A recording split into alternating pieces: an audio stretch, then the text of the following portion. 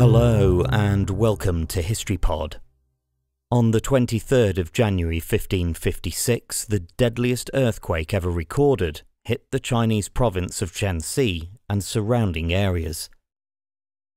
The Shaanxi earthquake, whilst being the deadliest on record, was by no means the highest magnitude ever recorded. However, a 520 mile wide area was seriously affected, and up to 60% of the population of some cities was wiped out. The reasons for this level of destruction were the joint factors of location and timing.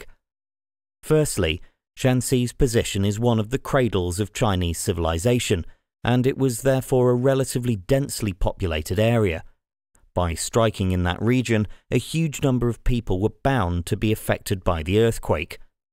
Secondly, the people of the time predominantly set up home in fragile cave like structures that were dug out of the loess soil that covers much of the area. Loess soil is a silty sediment that's built up through the action of the wind. Although it's highly effective as an insulator, it is also incredibly fragile. Described by agricultural and biosystems engineer John M. Laflen as the most highly erodible soil on Earth, some settlements in Shaanxi were dug entirely from it. The force of the earthquake and the landslides that followed destroyed huge numbers of the traditional dwellings.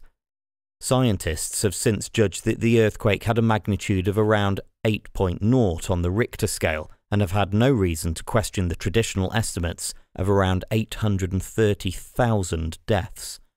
Gaspar da Cruz was a Portuguese Dominican friar who, in 1569, published one of the first European books on China since Marco Polo. Unaware of the geological reasons for earthquakes, he suggested that the earthquake was God's punishment for sinful behavior by the Chinese people.